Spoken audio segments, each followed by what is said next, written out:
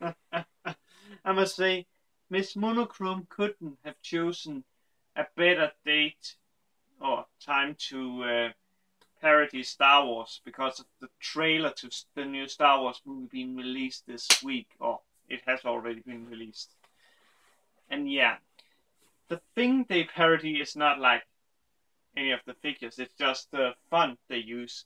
And it actually has significance because we take a trip back to the first season of Miss Monochrome, where we see um, the promise that Miss Monochrome made to the ancient Kiraka, that she would strive to become a top idol together with uh, Kiraka, or yeah, like you know they would compete against be, uh, with being the top idol, and now Kiraka has been reborn.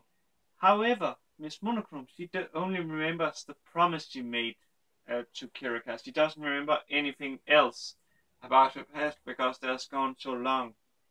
However, this is not like the main thing about this episode. It was more to remind those people that may not have watched the first season or has forgotten this. I still remember it, and he even pointed that out that the vice uh, viewers they would most like they wouldn't need this. So yeah, it's pretty funny. But as I was saying, there's a the episode here. The main focus of it is actually appeal for Miss Monochrome, or rather, she is trying to appeal to the elder people. However, she has an issue because her suit, mascot suit, has been uh, sent to uh, cleaning by Mano Manager, and yeah, it doesn't help either that Yayoi comes and uh, tells her that she has to get into that uh, because um, she um, basically needs to enter into the uh, Grand Prix of uh, mascots.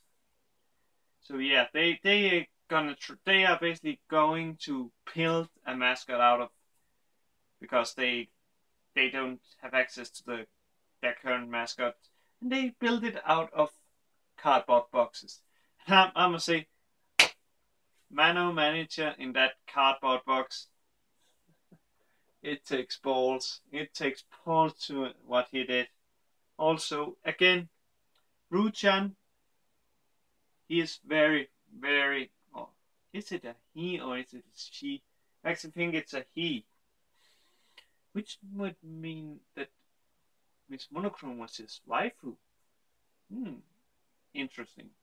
Because uh, he actually cuts the boxes. So yeah, pretty, pretty pretty util. He's pretty versatile. Interesting man. But Miss Monochrome doesn't like that. So Yayoi, she has amazing drawing skills because in a few seconds she basically draws like a perfect and very creepy mascot, which she also very fast gets like put together. I like Miss Monochrome's, like, she looking at it and it's those eyes. It's like I'm staring into the abyss and the abyss staring back at me. It's perfect.